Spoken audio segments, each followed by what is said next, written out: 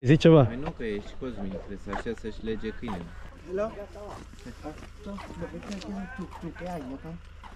Ce ce? Să-i faci lor poză. Heavy, too heavy. Se, sen nặng anh. If he knows how to. If he Bảo là ok nhưng mà anh cẩn thận nhé. Vì cái xe nó nặng quá. face și omul bucurie. Good day, everyone, and thanks for e riding with me. My name is Mihai, and I have been living and riding in Vietnam for over 16 years. This video is the first of a series of videos exploring three main segments of the so called Ha Giang Loop in Vietnam. Ride with me, and I'll tell you about this amazing route, and I'll also give you some tips. Ha Giang province is located in the northernmost part of Vietnam, sharing borders with China. It is known for its stunning landscapes, diverse ethnic cultures, and rugged mountain terrain. It is one of the most beautiful mountainous provinces in Vietnam. I would say definitely top 3. Today we are traveling 44 kilometers from Yen Minh town to Dong Van town. The highlight of this section is Tham Ma Pass, a short but stunning pass with an awesome viewpoint. Tham Ma Pass is located right on National Road 4C, or QL4C, as it will appear on Google Maps. Așa e frumos. Frumos rău. Mamă, ce tare. Tu ai fost Ca pe- Transfăgărășan, A, așa. asta vreau să întreb, ai fost pe el, nu? Am fost cu mașina când eram mic copil. QL4C, which stands for Quoc Lo Bonse and which means National Road 4C, is the major road around Ha Giang province and it runs from Ha Giang city up north to Dong Van town and then south to Meo Vac district and beyond, which is why it is called the Ha Giang Loop.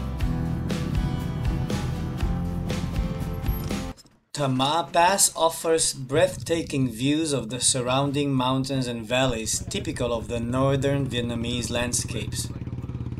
It's known for its winding roads and impressive vistas, making it a popular route for travelers exploring the Ha Giang Loop or simply enjoying the natural beauty of the region.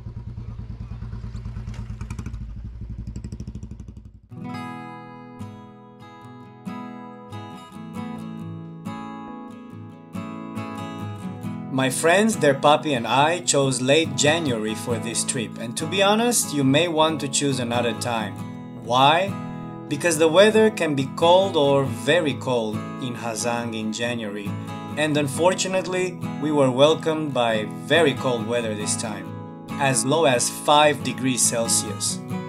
And it may sound okay, but being on two wheels out in the open with strong winds hitting you from the front, plus with the humidity in Vietnam, means 5 degrees is way too cold.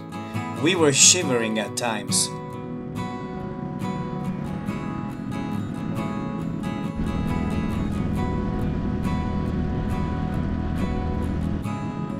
Parts of QL4C or National Road 4C are known for their winding roads and mountainous terrain, which can make driving challenging. QL4C is not just a transportation route, but also a popular route for tourists exploring the stunning landscapes and cultural diversity of Ha Giang province.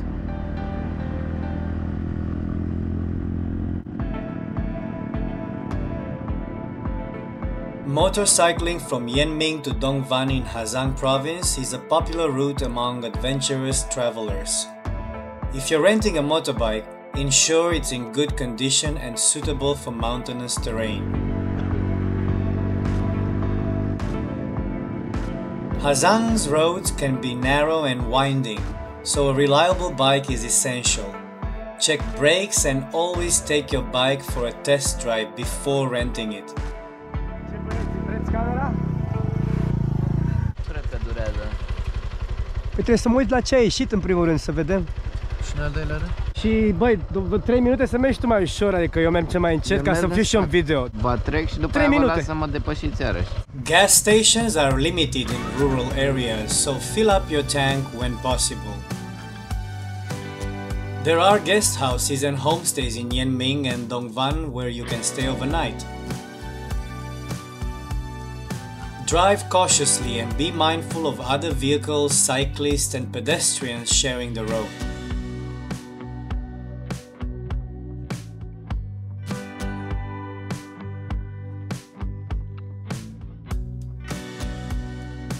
Motorcycling from Yen Minh to Dong Van is not only about the journey but also about experiencing the rugged beauty and cultural diversity of Ha Giang province.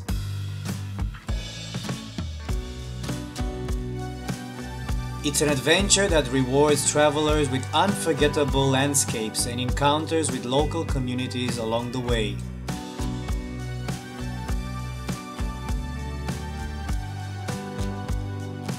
If you travel around the first days of Tet or the Vietnamese Lunar New Year, late January or early February, you shouldn't get into much traffic in Ha Giang province.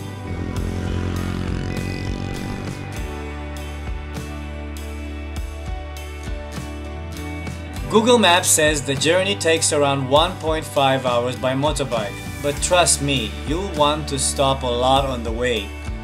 I personally stop plenty of times for photos, for coffee, or just for looking at the scenery. We covered the 44 kilometers in about 4 hours, including all these stops.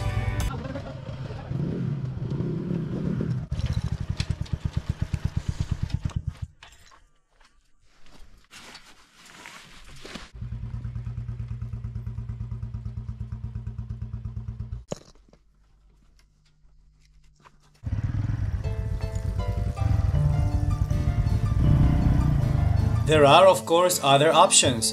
Private cars, local buses, and shared minivans take this route, although departure times may vary. It's advisable to check locally for the latest information. Taxis are also available in Yen Minh, but they can be more expensive compared to other options. Negotiating the fare beforehand is recommended.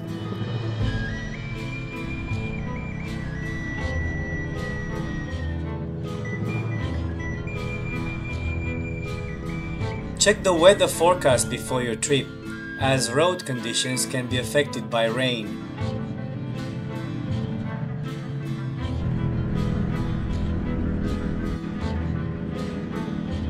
Now, about accommodation, if I'm in Ha Giang province, I would always choose homestays. They offer the most authentic experience.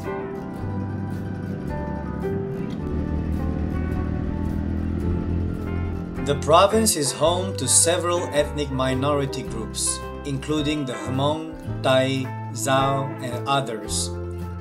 Travelers to Ha Giang have the opportunity to immerse themselves in local culture through homestays in ethnic minority villages, participating in traditional festivals, and exploring local markets known for their vibrant colors and unique products.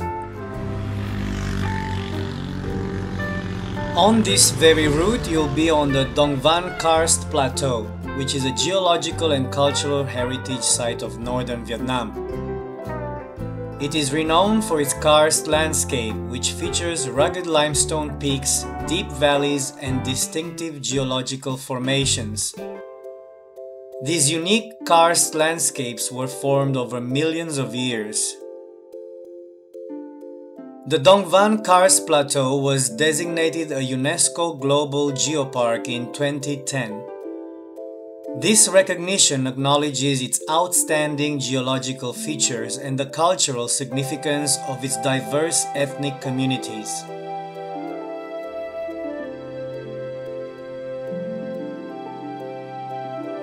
Despite its natural and cultural riches, the Dong Van Karst Plateau faces challenges such as preserving its biodiversity, managing tourism sustainably, and supporting the livelihoods of local communities in a rapidly changing economic and environmental landscape.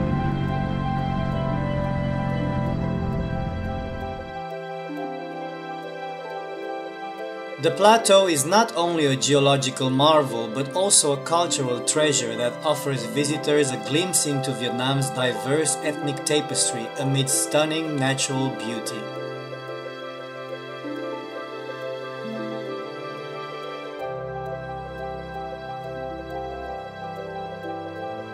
Overall, Ha Giang province offers adventurous travelers a chance to explore off the beaten path destinations, connect with diverse cultures, and marvel at some of Vietnam's most breathtaking natural landscapes.